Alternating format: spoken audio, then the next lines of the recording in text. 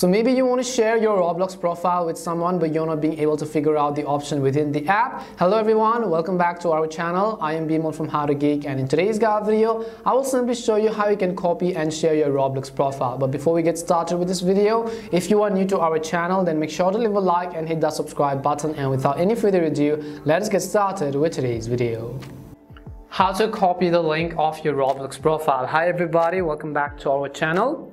So in today's tutorial video, we will discuss how we can copy the link of our Roblox profile. So make sure to watch this video till the end. Now you could basically do this from your Windows PC or Mac if you're do, doing it or browsing through them. But I will simply show you the procedure on your mobile device as well.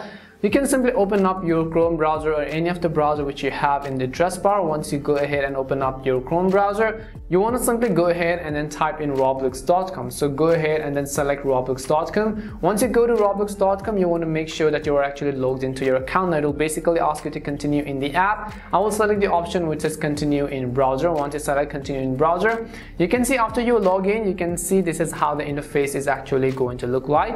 And if you want to copy the link of your profile, then first of all, we have to go to our profile page and in order to do that tap on the three horizontal lines which you see at the very top left hand corner of the screen as you do that you'll be able to see a list of all these options now what you have to do is simply select the option which says profile so go ahead and then select profile and you select profile you'll be able to see your profile page. Now what you have to do is you simply need to copy the link which is at the address bar. So go ahead and select it. You can actually copy this link right over here or you can also see this profile link. Now when somebody visits this url let's say for example if I'll go ahead and open up other browsers, for example, just in this case, I will simply go ahead and open up another browser on my phone and I will paste that URL and I will show you whether or not we will be taken to that profile page.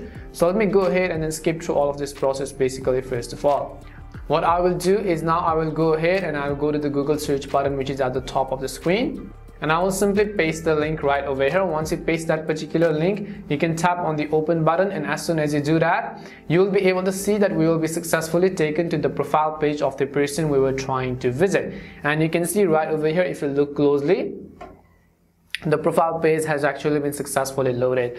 And this is how you can copy the link of Roblox profile. We hope the video was really helpful. And if it did help you then make sure to leave a like and subscribe to the channel.